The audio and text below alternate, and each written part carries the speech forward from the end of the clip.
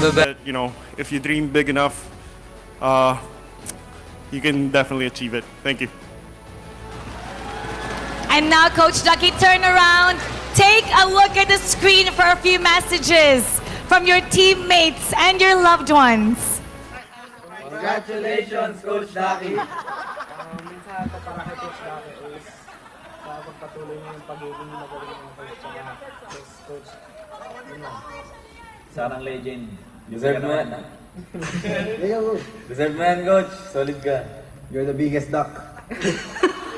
Matutupad mo na ang pangarap ng maging Indian chef. Galing ako mag-parlay, coach. Galing mo Magic Chess. Balang araw magiging prepare ka sa Magic Chess.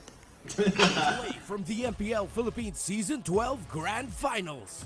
Now, let us look back on the teams that will represent the Philippines for the M5 World Championship.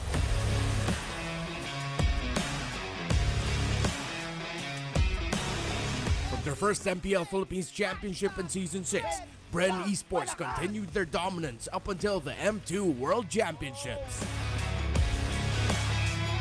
After winning the country's first ever M Series championship, the defending champs looked strong heading into season 7.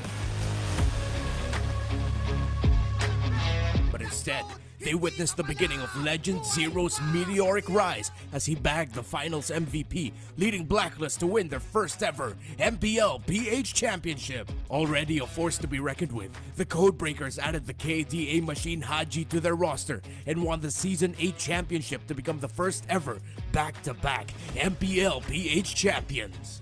AP Bren with their new roster and consistent execution of tactics, are trying to prove that they are the world's undisputed champion.